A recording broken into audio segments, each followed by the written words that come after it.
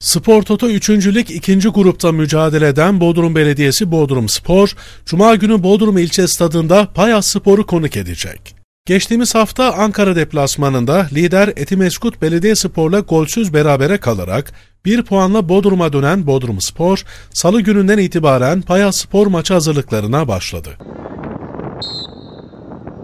Bodrum ilçe stadındaki antrenmanı izleyen Bodrum Spor Kulüp Başkanı Rıza Karakaya, Etimeskut Belediyespor maçını değerlendirerek başladığı konuşmasında şunları söyledi. Etimeskut'ta galibiyet için gitmiştik ama bir puanla yetindik.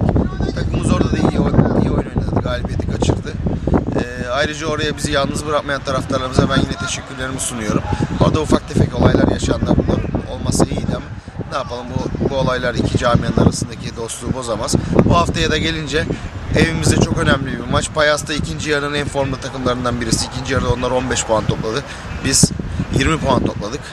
Yani ikinci yarının en fazla puan toplayan 2-3 takımdan birisi onlar. Güzel bir maç olacak. Onlar da düşmemek için elinden geleni yapıyor ama ben inanıyorum ki taraftarlarımıza bütünleşerek bu cuma Bodrum'da Payas'ı yenerek yolumuza devam edeceğiz. Ben takıma, teknik eğitime, taraftarlarıma, herkese güveniyorum. Gelin hep beraber bütünleşelim.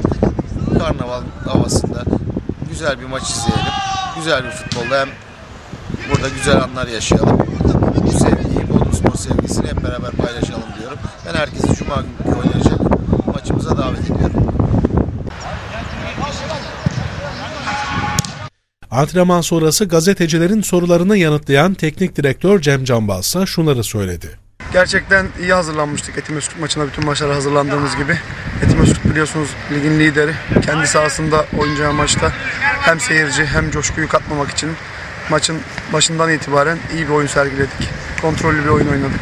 Bir onun yanında da topu rakibe vermeden onların coşkusunu arttırmadan topun bizde kalması gerektiğini ve mücadele gücümüzün çok yüksek olduğunu ve olacağını söyledik oyuncularımıza.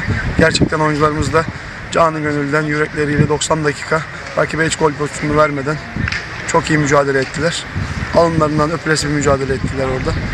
Bizleri 90 dakika boyunca hiç durmadan orada destekleyen, bizleri kendi evimizde oynama hissiyatı veren Bodrum Spor sevdalarına bazı tayfalara da maç için teşekkür ederiz. Payas Spor'la ilk yarıda oynanan karşılaşmada golsüz berabere kaldıklarını belirten Cem Canbaz, Cuma günü oynanacak karşılaşma öncesi şunları söyledi.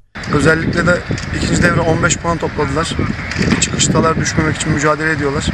Biliyorsunuz 3. ligde günlük ve anlık performanslar çok önemli. Biz bütün rakiplerimizi ciddiye aldığımız gibi Payas'ı da çok ciddiye alıyoruz ve önemsiyoruz.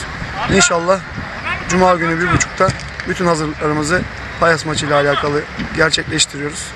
Onları da en iyi şekilde ağırlayıp kazanmak için elimizden gelen mücadeleyi sergileyeceğiz. Taraftarlarımız da Cuma günü bir buçukta şehir stadında bekliyoruz. Her zaman onlar bizim canımız, ciğerimiz ve destekçilerimiz. Yine aynı desteği onlardan bekliyoruz. 11 Mart Cuma günü Bodrum ilçe stadında oynanacak Bodrum Belediyesi Bodrum Spor'la Payas Spor karşılaşmayı Bursa bölgesinden İsa Yücel Çırakoğlu yönetecek.